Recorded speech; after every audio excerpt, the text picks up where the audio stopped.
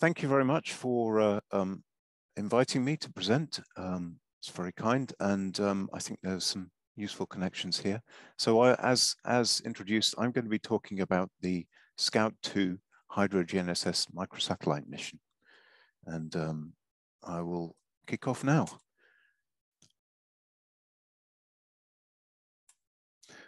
So the European Space Agency Scout program is a, it's a new initiative from ESA's Earth Observation Directorate. Um, it covers small satellite missions demonstrating uh, science with small budget and rapid schedule. And the missions are fully funded by ESA, characterized by an agile and low-cost development process to prove new concepts for future ESA endeavors. And the aim is to tap into new space approach. And it's uh, aimed to achieve a launch within 36 months after kickoff, budget less than 30 million. And it's accepting the higher risks and use of COTS components, um, reuse of existing designs that are used on small satellites. And the data will be free, full and open and delivered using a service-based approach. And HydroGNSS was selected as one of the first two Scout missions in February 2021. So just a bit about how the path to selection. So um, ESA solicited uh, the Scout bids um, in 2019 and uh, uh, we met together at a GNSS reflectometry workshop and um, put together the team and the first concept uh, in May 2019. And ESA received um, either 16 or 17 uh, varied proposals um, in August 2019. These were large proposals. Ours was about 800 pages, so there was a lot to sort through, and they were on all kinds of different subjects. Four of these um, concepts were down selected, including our Hydro GNSS. And then there was a study run for those four concepts from January to August in 2020. And we uh, presented to the ACEO Advisory Committee um, of, of, scientists in October. And uh, then um, the Scout um, missions were announced. Scout 1 announced in December 2020 and Scout 2 announced February 2021. So Hydro GNSS was selected as the um, Scout 2. Um, uh, we have quite a large team um, in Hydro GNSS, and we're working closely with the European Space Agency, who have their own range of experts and uh, program management as well. SSTL, um, you, most of you will have heard of us. We're a small satellite company, uh, been going for a long time, and we are providing the payload platform and ground segment. Um, and then the science team, Sapienza University of Rome, um, working in soil moisture end-to-end -end simulator, IEC, on working on the GNSS signal processing and the inundation, Finnish Meteorological Institute, working on the freeze-thaw state, Tor Vergata University um, is working closely with Sapienza on the simulator and the surface interaction simulation. IFAC CNR is working on the forest biomass, and we also have partners National Oceanography Centre, who uh, have experience of ocean-based calibration, University of Nottingham, helping with the GNSS instrumentation and signal processing. And joining us later will be Technical University of Vienna participating in the data fusion study. And we also have a um, science advisory committee that brings further expertise. So GNSS reflectometry um, is um, it's using, reusing signals that are transmitted by navigation sa satellite systems, including GPS and Galileo. There's over 100 sources of these L-band signals in orbit. And what we're doing is we're picking up the forward reflection. So it's a kind of bistatic radar. And early concepts led to a key in-orbit demonstration on Tech TechDemoSat-1 um, with CEOI and UKSA funding. And then after that, we started uh, receiving support from ESA and uh, the work on TDS showed the sensitivity to ocean wind and wave sensing, sea ice extent, ice concentration, and now land, which is being addressed by Hydro GNSS. So our early work, um, the key demonstrations were UKDMC, um, which first showed that it was possible. TDS carried um, many, um, carried it, uh, actually started processing on board, um, and then the, that enabled the NASA CYGNSS, where we provided the payloads to eight um, satellites. And that really has paved the way for uh, GNSS reflectometry. Um, there's a small demonstrator called DOT one that we're um, operating at the moment, and then Hydro GNSS will be going up in 2024. So hydrological knowledge, um, as, as everyone realizes, is very important um, to humans. Um, it's a vital um, for climate, weather, life on Earth, and um, it's present on or in the land in form of soil moisture, wetlands, rivers, snow and ice and vegetation. The World Economic Forum identifies land water related issues as amongst the greatest challenges facing the population for the future. The knowledge um, is vital for soil moisture, for permafrost, um, to do with emissions, biomass, carbon stock, and wetlands um, for methane emissions again and biodiversity. And models need measurements for understanding and predictions um, and planning for the future and tackling climate change. So um, for climate, um, often Earth system models are used and for weather forecasting, numerical weather prediction. All um, benefit from assimilating real measurements. Scout HydroGNSS targets um, land parameters linked to essential climate variables. Um, so the Global Climate Observing System specifies 54 essential climate variables for observation of a climate, and 60% of these can be addressed by satellite data. And so the, the targets that we're going for, soil moisture, biomass, permafrost, and inundation are very closely linked to ECVs. And uh, the mission uses GNSS reflectometry, which is a novel, complementary, and unique sensing technique and it addresses a shortage in L-band measurements.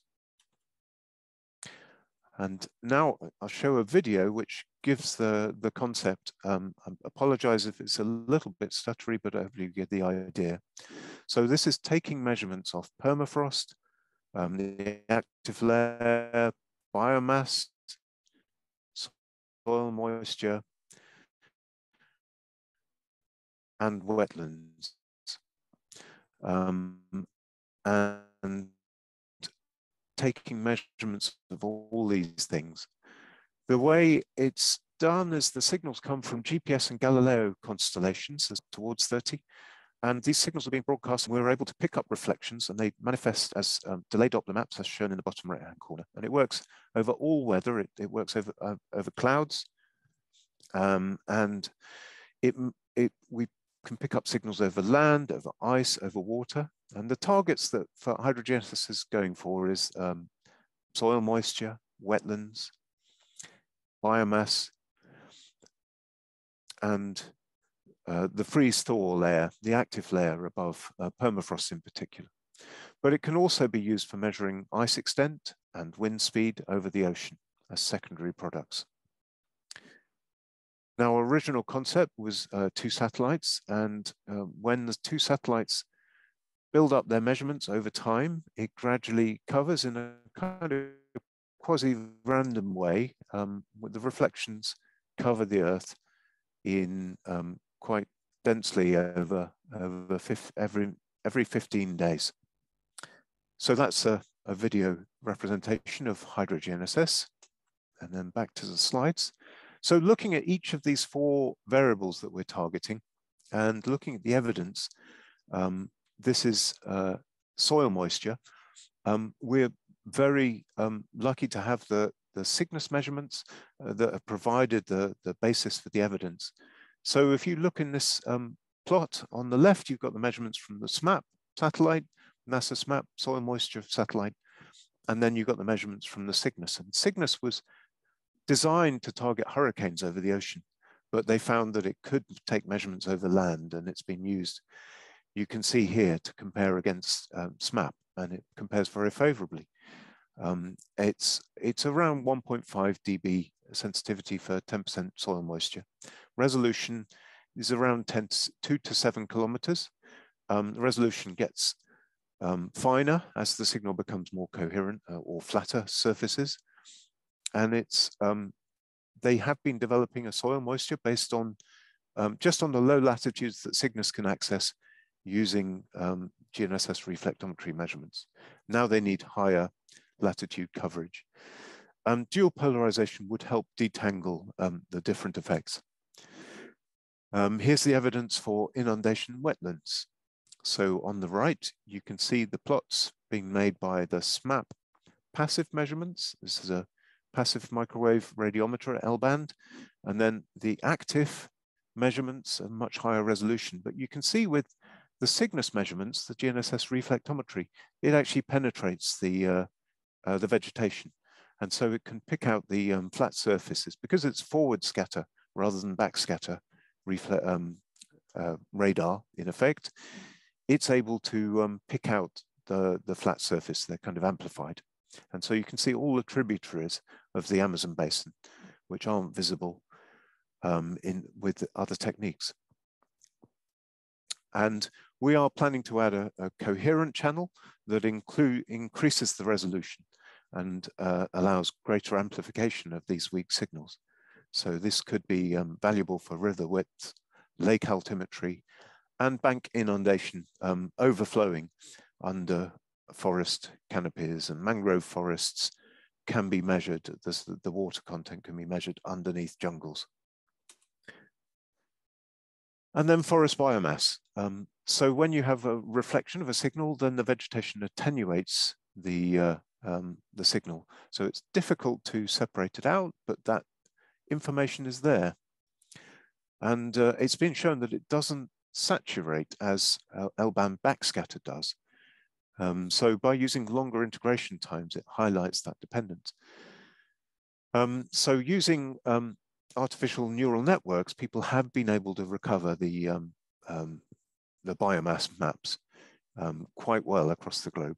Uh, well, only not across the globe because we've only got CYGNSS at lower latitudes, but it's it Hydro GNSS will cover the whole globe. Um, and um, been getting um, respectable results from the biomass. And then the evidence for soil freeze thaw, and this is something that CYGNSS was unable to reach because of the lower latitudes, but TDS was able to reach the high latitudes, and so we have ed evidence there. And uh, what happens is the frozen soil changes the permittivity, and so you get a very different reflection um, once when it freezes and thaws. And uh, it seems to give a high similarity to SMAP uh, measurements. So you can see the plot there on the right that the, uh, um, the TDS measurements are in green and the SMAP freeze-thaw product is in red. So uh, uh, very closely correlated. So the science objectives of Hydro GNSS are to exploit L-band satellite navigation signals to monitor Earth's water systems to a finer resolution and derive measurements linked to ECVs defined by GCOS. And so the parameters that we target are borrowing from the ECV requirements. Um, so the soil moisture, we're aiming for 0.04 meter cubed per, per meter cubed, inundation 90% cl classification, soil freeze thaw 90% classification accuracy, and forest biomass we're aiming for 20%. And the resolution is is is maybe not as high as biomass wants, but it's um, it's um, valuable for uh, um, it's the, it hits the requirements for soil moisture, inundation, soil freeze thaw. Um, we get, we have a sort of requirement of 25 kilometers, but as I said, when the um, surface that you're measuring goes flatter, then uh, you see a finer resolution. And so we can see uh, um, as good as one kilometer under certain circumstances. And we're also um, targeting ocean wind speed and ice extent, which has been demonstrated with TDS and CYGNSS. And we will also make the delay Doppler maps available at level one. Timeliness is 31 days standard, and then we're aiming for seven days goal for faster service. And for the longer term, we have a view towards less than 24 hours. The coverage is 80% of the globe in 30 days, and we've captured um, this information in the mission requirements document. Martin, sorry to interrupt. Is there yeah. one of those Zoom closed caption notifications on your screen by any chance? Um, oh, is it blocking out the top? Yeah, just a little bit. I wonder whether I can make it disappear. You should be able to close it. Is there an X? There isn't an X. I've moved. Um, hold on. I might be able to move it. Is that better if I do that? Uh, it is a little better. It's just cutting off the very top of the title. Right.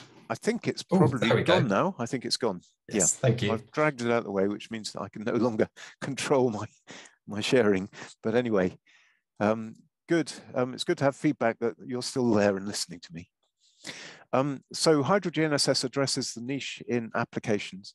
Um, so here's a plot showing the uh, temporal and the um, spatial resolution.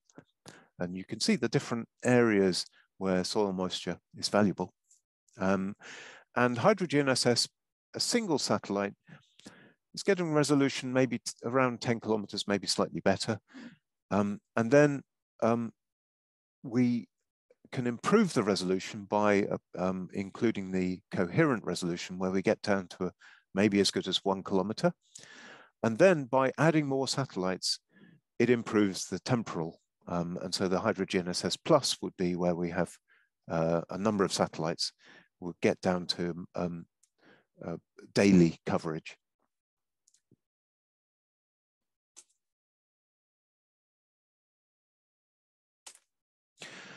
Um, so this is the context for HydroGNSS with respect to other satellites. So um, um, I think many people will be aware of SMAP and SMOS, the ESA SMOS mission, and NASA SMAP mission have been highly valued uh, satellites for measuring soil moisture and ocean salinity in the case of SMOS.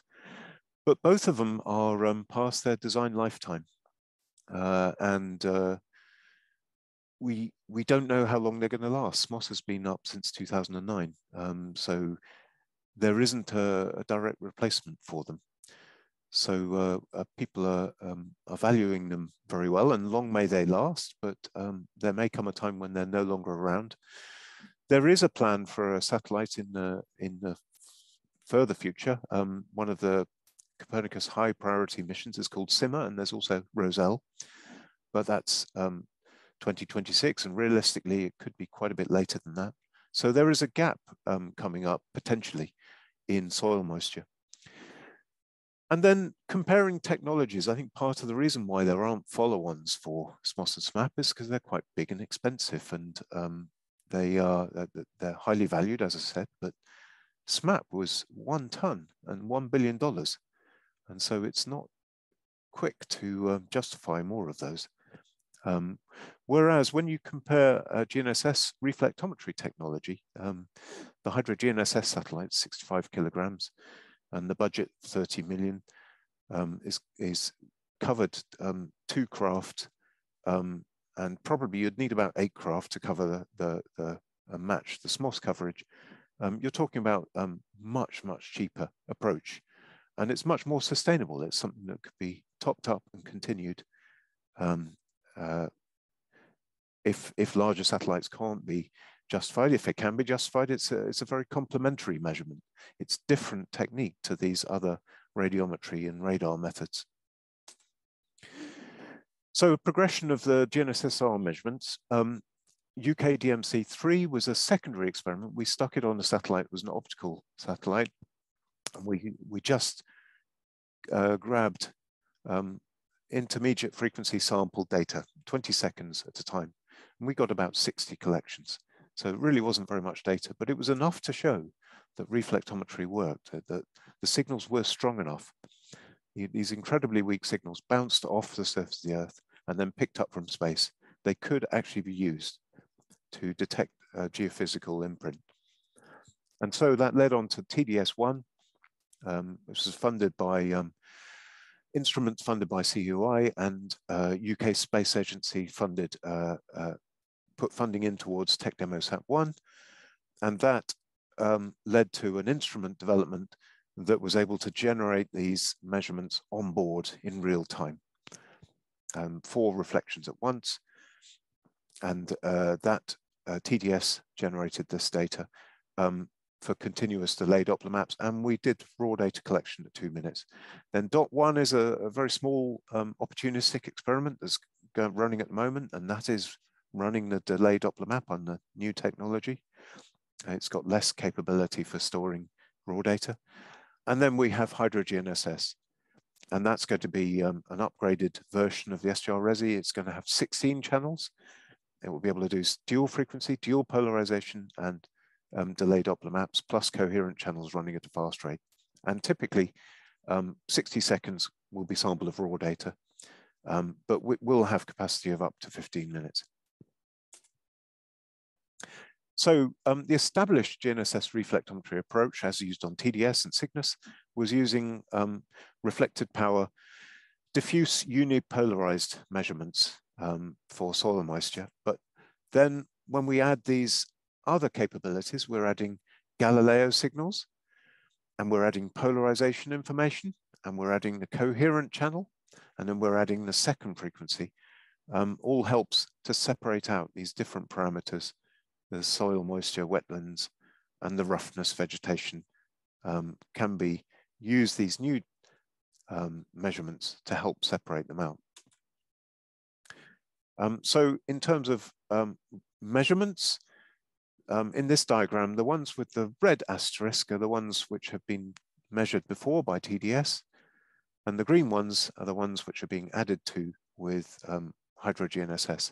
So you can see we're adding Galileo, we're adding um, coherent channel, we're adding L5, we're adding the opposite polarization, um, and um, we'll have the data to support that, and we'll have a raw sample data, typically 60 seconds for um, research purposes at both frequency bands. So there's a lot more data available, but it should be recognized that the fundamental uh, science case is based on the, um, the, the, the left-hand circular uh, GPS and Galileo uh, reflections.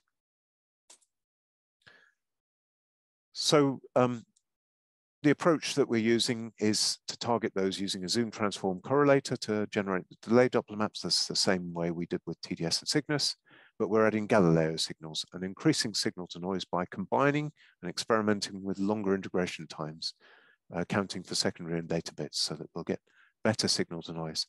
And then we're adding a coherent channel um, where we have a single pixel, which is sampled much, much faster and it gives the complex values. So we've got the amplitude and the phase as well. And so that will give the, that will exploit the um, resolution potential. And then we have dual frequency and dual polarization, which are a bit more adventurous. Um, so we're picking up a wideband signals and the dual polarization. So that calls for higher sampling rates. Um, we're using the same ZTC approach. We're optimizing the delay Doppler map settings according to the code. And then operational mode, we will normally collect delayed Doppler maps for occasional collections of um, level 1A. So these are going to feed into the data levels. Um, there's going to be um, level 1A and B are going to be delayed Doppler maps. And then level 2 are the products that people, the users will want, which are soil moistures, etc. And then um, there will be some integration into uh, grid and monthly maps for level three. Um, just a few words about the calibration. I won't go into great detail in this, but the, what we're doing is we're measuring the amplitude of the reflection off a surface. And what we're trying to do is to measure the reflection coefficient at a specular point. Or we're measuring the radar cross section if, if it's a um, diffuse scattering area, which is a sigma. So it's gamma or sigma. They're very closely related. And so we need to be able to measure a reflected signal, but we also need to know what the incident signal is. So there's two halves to it. Um, and the calibration is addressing those to try and make sure that we are measuring the reflected signal and we know what the incident signal is. And so there's different techniques and we have um, different calibration activities. We have a, a, black body load that allows you to measure what uh, uh, a known noise um, gain gives you. And then we have targets over the ocean and over the Antarctic that we can use to help calibrate. And the other thing we're trying to calibrate is the antenna patterns because that affects the measurement. The antennas patterns both on our uh, receive side and on the transmit uh, GPS or Galileo uh, transmit antenna patterns. And we've, as, as, people have found that the more they spend on trying to correct these things, the better and better the measurements get. So in terms of the receiver power, we check against the black body load, an Antarctic target, and then we look at some of the second order effects such as bit distribution. And then we can apply that to the coherent and dual frequency. And then for the transmit power, we can either use a model or we can use ocean reflected signals, or we can use direct signals um, picked up by HydroGNSS itself, and then adjust for that to re retrieve the uh, specular point vector. And there's new challenges though, because the second frequency, we won't necessarily have the direct and, um, and ocean reflections and the opposite polarization. Again, we won't, it won't be so easy to use these techniques. So we do have challenges ahead of us with the calibration. And then it, this leads on to um, the inversion techniques. The um, ATBDs are being developed, algorithm theoretical baseline, that describe how the level two products are being generated. I won't go into detail here. There's just to say there's a baseline inversion using the, the measurements we know and then advanced techniques that are using the techniques, uh, the, the measurements that are brand new. And then we have the process of going through the measurement, the calibration, the validation, and then the passing to the users. And so we have to start thinking about how we're going to validate these, um, the test sites, um, the simulations, um, and the data sources, um, the best approach to uh, calibrate. And we have a target to try and achieve preliminary validation within six months after launch. And finally, just yeah, just mentioning again the challenges that we face with the new measurements. Um, we've got good confidence with the L1E1 L LHCP, but the uh, the new measurements L5E5 and the opposite polarization, um, we expect challenges and we will continue to work on these and collaborate with land and air campaigns to validate our approaches. Um, just a couple of words on the end-to-end -end simulator. It's an important part of the project. It's taking a lot of our time up, uh, but it's it's already showing its rewards. Um, ESA's approach is, is to make sure that we're able to show what's called scientific readiness level five, and that means that we have an end-to-end -end simulator in place. And the models um, can be used to model the reflections and it helps us understand the error terms. But it also is allowing us to develop and test our payload ground uh, segment, PDGS, which is quite complex because we have all these processes. And we can either use data that's simulated from the um, um, HSaver simulator, or we've got data from TDS1 and DOT1, which we can use to pass through the system. And then the level two processes are provided by our science partners. And we're also working with science partners on the level one with some of the calibration activities. And then um, moving on to actually how do we implement this, uh, the, this mission? And we've talked about the data. Um, so how do we implement as a mission? And so we have a payload that's um, a new instrument that's based on the ones that we flew on TDS1 and CYGNSS. Um, we got, got a, a 13 dBi dual polarized dual frequency antenna, and it's compatible with GPS and Galileo. It's reconfigurable in orbit, so it will support new GNSSR measurements. Um, the platform is about 65 kilograms. Um, it's being designed for a two and a half year operational life plus a two year extension. So it's, it's designed for five years plus. Um, it's an agile platform. It's got star tracker attitude accuracy and xenon propulsion, so we can phase satellites. Um, it's um, dual redundant um, X-band 200 megabits per second downlink via Svalbard. So we have a ample capability to download data. We can, um, we've got much more than we need in terms of that capability. Um, we have payload data ground segment in, in Guildford based upon the processing that we did for TDS1, which is um, presented to users at the MERRByS website. We're um, SSTL is the prime, but we're working closely with science team members. And um, SSTL will be opera, um, uh, running the operations and data product service delivery. And we're, we're running the launch and managing the launch campaign. And there is an option for an identical second satellite to enhance the scientific return. And we're, we're making the case for that at the moment. Um, and here's a pictorial guide to the steps, the way that the program is broken down into reviews. Um, and so we are going through the key program gate reviews. Um, at the moment, we're sort of in the middle of a chart um, around PDR, and we're working on the end-to-end -end simulator SRL5, and we're beginning to produce um, hardware. Um, so come February, we start integrating the satellite. And then August next year, um, the satellite goes through um, environmental testing, so EMC and thermal vacuum, vibration. And then um, we do the final end-to-end -end testing of the, of, of the satellite before it's shipped out for the launch campaign. Um, we haven't got the launch date agreed, but we are working to around the August 2024 timeframe, August, September. We could be slightly earlier. Um, so we're in uh, launch negotiations at the moment. And then launch um, roughly September 2024, and then commissioning six months. And then we release the data um, under an operational service six months after launch. And just to show some of the um, progress that's going on, uh, the, hardware is beginning to appear. Um, we've got um, detailed designs for the um, antenna panel being manufactured now. We've got low noise amplifiers that are arriving in the building literally today, uh, the engineering models.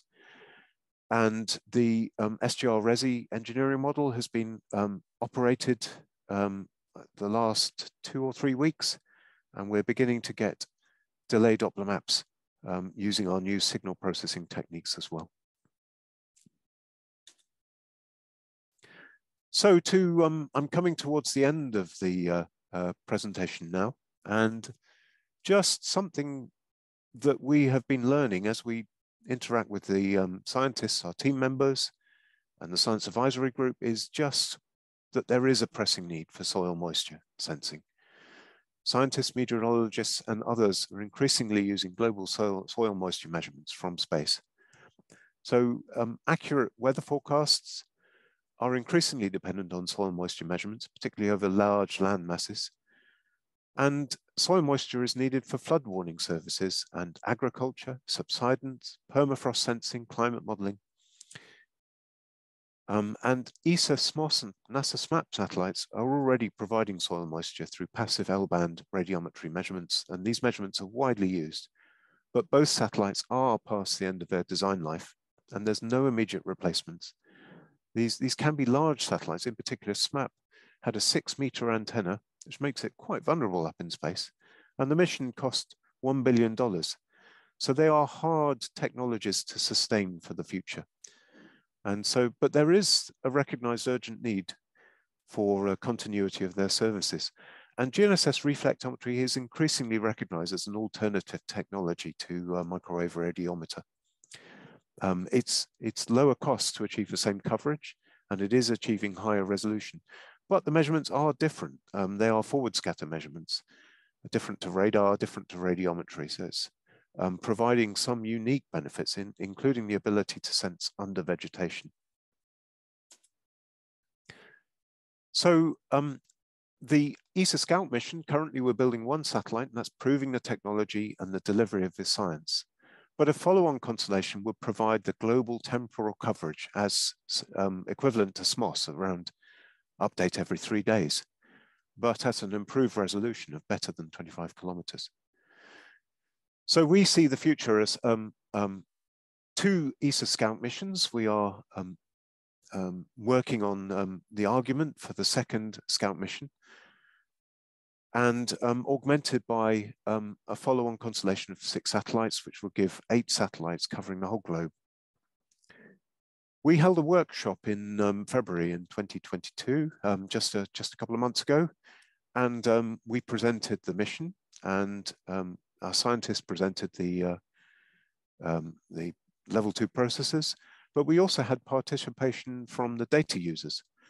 And we had people from um, Met Office, ECMWF, um, um, Copernicus Climate Change um, Service, and the um, ESA CCI.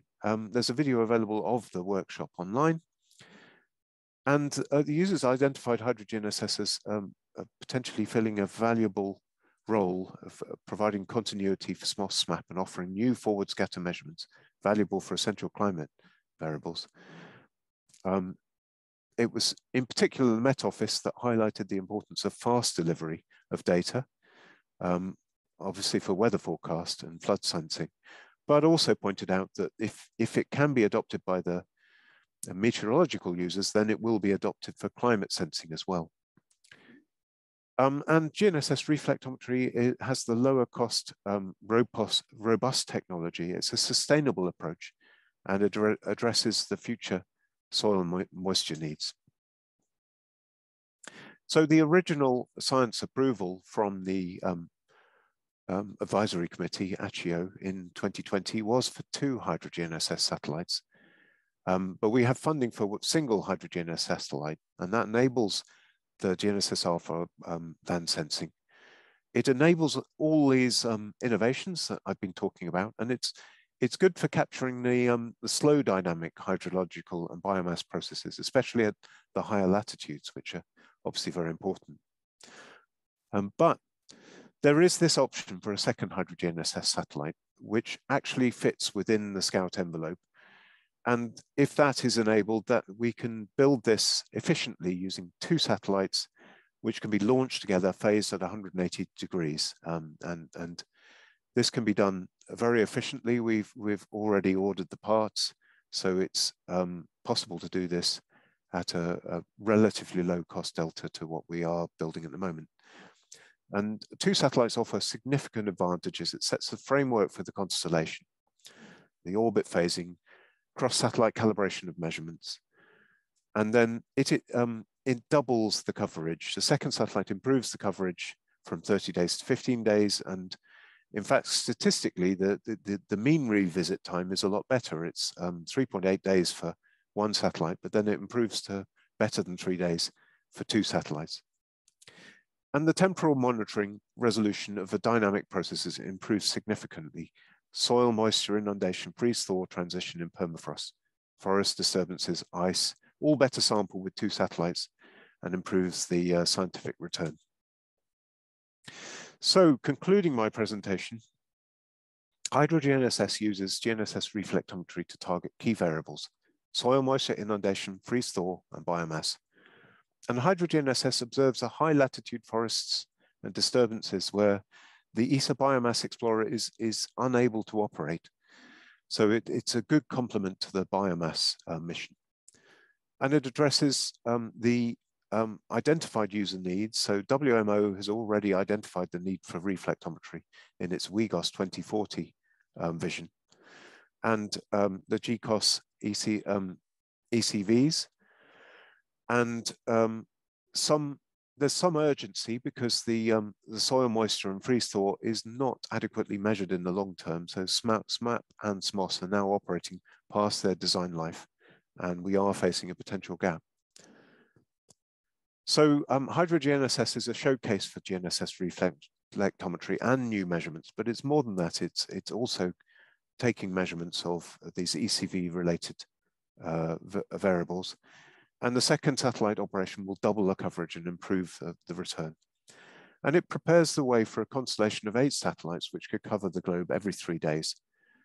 Um, this is a more sustainable um, approach compared to um, other um, technologies and it provides immediate benefits for weather forecasting and flood alerting, as well as providing measurements for the uh, climate. And um, it links closely to the COP26 space-enabled net zero in UK national space strategy.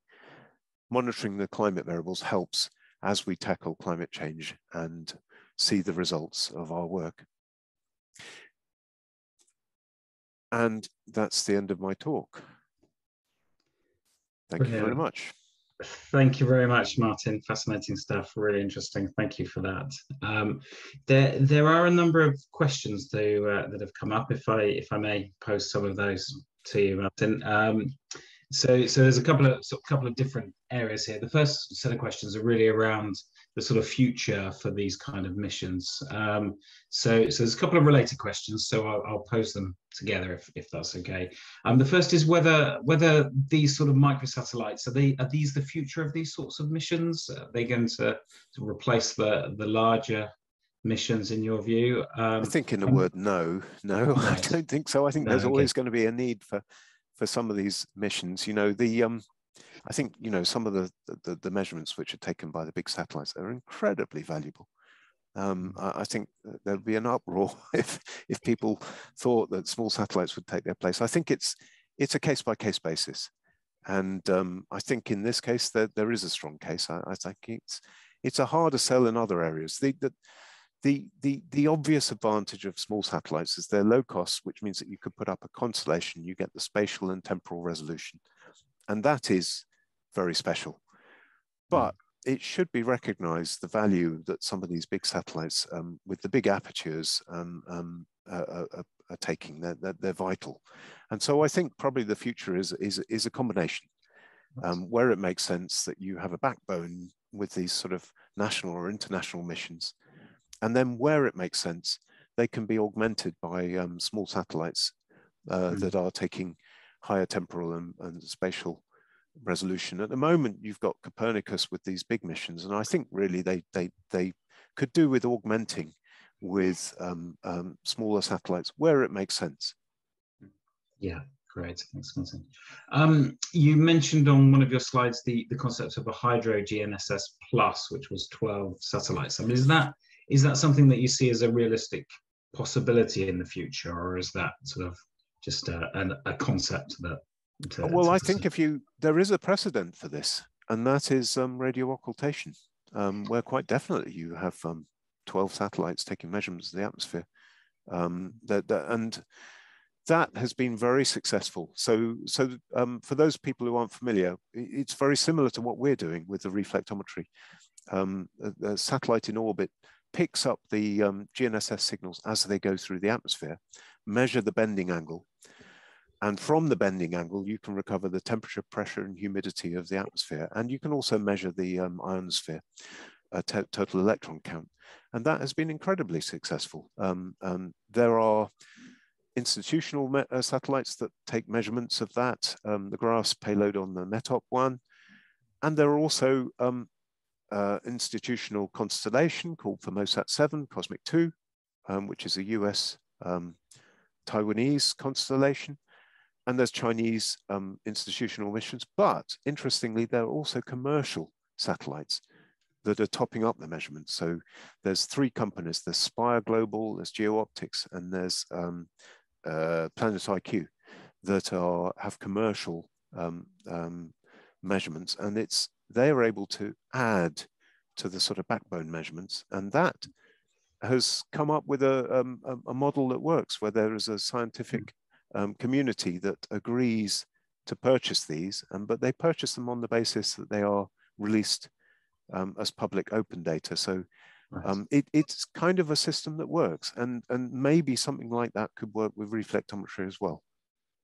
Cool that, that kind of brings on to the, the next set of questions around the, the access to the data. Um, so there's a question about where, where um, where's the data generated by the mission to be stored and, and what are the over, overall estimated volumes of raw and processed data coverages? Um, well, it's going to be, um, uh, when we're talking about the, the full raw data, there, there's, there's many gigabytes. Um, but actually, when it's um, then when it's processed down into the level two products, which is what we expect most people to use, um, then it's quite small. It's, it's, it's small amounts of data.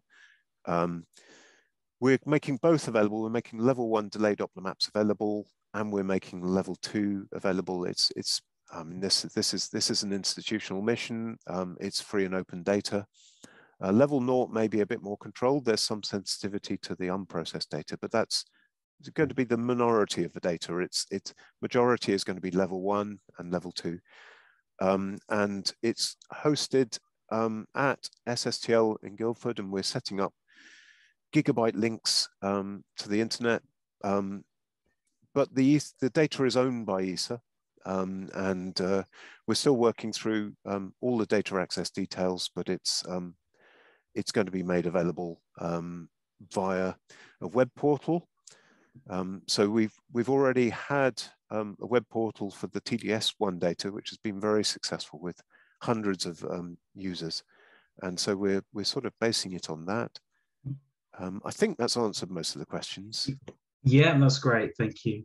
Um, a question about calibration. So, so are the GNSS reflectometry measurements calibrated using ESA SMOS and NASA SMAP data as well as ground truth measurements? Um, certainly, they will be um, cross compared with um, a SMOS SMAP. I think that would be the ideal um, if if they're still operating when HydroGNSS goes up. I think that would be the the plan plan A would be to use SMAP and SMOS as the um, um, calibration over the globe. But we also have um, alternative approaches. Um, and we have one or two calibration sites. There's the San Luis Valley in, um, in Colorado that CYGNSS has been using. And I think some of our scientists have worked closely with the CYGNSS team. Um, so, and we've also got a site in Finland and um, we're working closely with um, Wolfgang Wagner with the International Soil Moisture Network. Um, so that provides a database for the global soil moisture.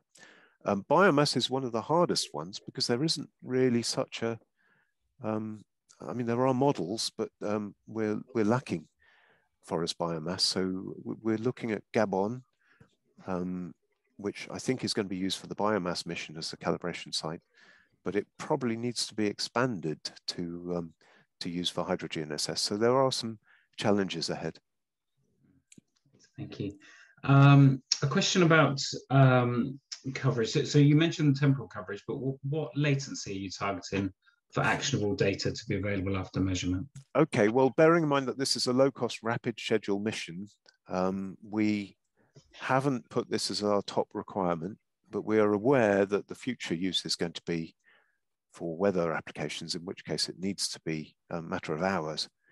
Mm. Um, to start with, we, we, we've got a requirement of 31 days, and then we've got a target of less than seven days. We may end up layering our data where we have um, a fast data delivery that's kind of track based, and then we have a gridded um, um, delivery that's um, going to be a bit longer delay. Um, and, and there's certain bits of auxiliary data that we can use to improve our measurements. Um, but um, I think we're, we're, we're very conscious that there, are, there is a large um, significant user community that wants the data quickly. And so we are taking that into account. Thank you.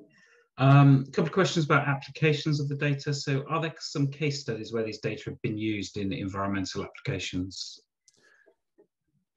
Um, there are, there are, there are. Um, um, I think again we're fortunate that that that CYGNSS has kind of paved the way. So there's there's quite a bit of um, um, there's quite a bit of usage of of CYGNSS, and I think there's a lot of references on the web, um, accessible via the web from uh, um, uh, CYGNSS for soil moisture, and there, there, there's some people um, connected with uh, NASA Jet Propulsion Laboratory who are looking at the flood response as well. Um, freeze thaw, not yet, um, because they don't, CYGNSS doesn't cover freeze thaw, although they're able to do some testing over the Andes um, and Himalayan um, plateau. Um, and biomass, not yet. So, uh, but the soil moisture, yes, I think it's, and inundation is, that there, there are some applications where they're exploring it. Thanks.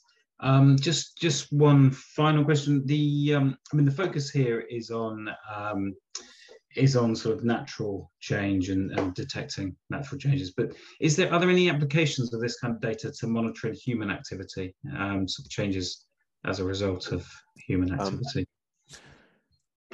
Uh, uh, yes, yes, there are. Um, um, there, there's several. I mean, this is a, this is a in effect GNSS reflectometry is a, is a is a is, is a kind of radar. And you think of all the things that SAR can be used for, um, a lot of those things um, GNSS reflectometry can do.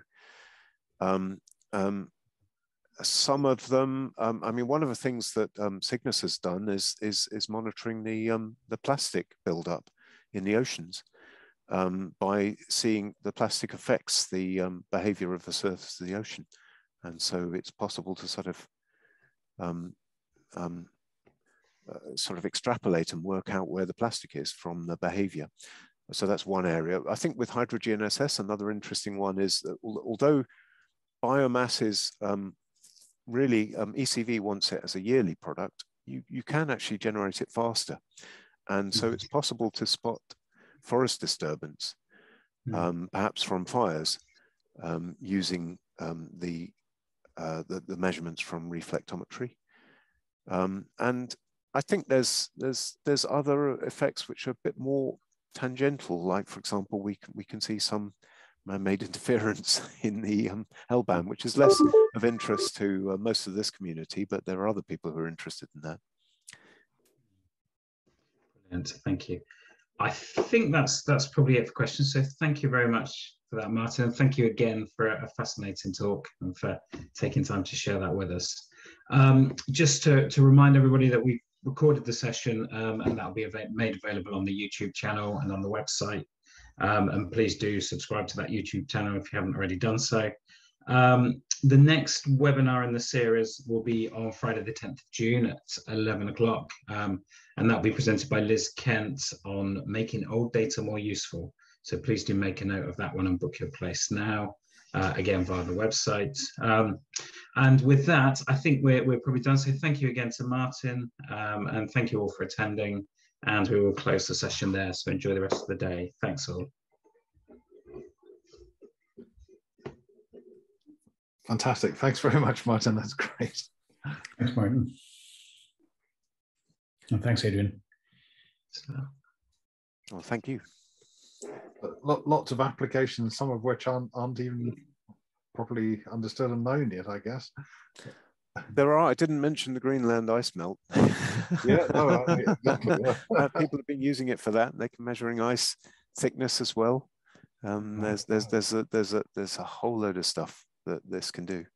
Well, the ocean plastic one's fascinating. So, that, that uh, are people actually doing doing that? Are they? Yes, there are. There's a, there's a, there's papers on the on the web. I mean, it's a it's a little bit vicarious, but it's better than yeah. than not having anything. yeah. yeah. Mm-hmm. That's right. Yeah. And the, the, the resolution of these is is is you mentioned 25 kilometers. Is it's, it? It's very difficult to nail down the resolution, and um, you kind of have to um, you have to um, take what the, the surface of the Earth gives you. So yeah. when you're over the ocean, it's it's scattering, and it, it gives you about 25 kilometers. So you're um, limited by the um, chip length of uh, the GPS code. Mm. But when you go over a, a, you find a flat surface, for example, a river under a, a forest um, or a mm. jungle, the river is really flat and it, it, it actually um, causes um, very strong reflections. It becomes coherent and then you're down to the Fresnel zone, which for GPS is about 500 meters um, for um, L-band. Um, so it was that sort of made everyone's jaw drop when we hmm. started seeing this in the data.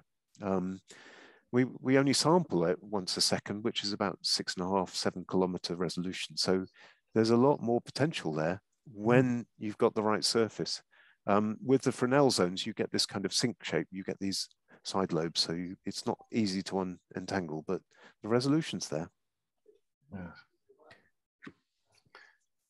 Actually, Martin, I noticed in the chat that um, that Andy Turner asked, says he's interested in the provenance data of the data processing. Does that? Um, the provenance data of the data processing, what does that mean exactly? I'm not sure, and I. For reproducibility, okay. Um, yeah, well, I mean, we, we're publishing. I'm, I'm, I'm still not quite sure I understand the question, but I'll try and answer it. Um, so um, we we will be having traceable processes. We've got um, published. We will be publishing the algorithm theoretical baseline documents, and we will be letting people have access to the level 1B. So um, I, I, think um, hopefully that gives enough visibility that people can reproduce the results and they'll know that when we've reprocessed the level 1B, it will be labeled so that there won't be any nasty surprises. Um, so uh, we recognize it's quite complex to trace these things and, and people can waste a lot of time when data has changed when it was reprocessed. So we will, we will try and make it as traceable as possible.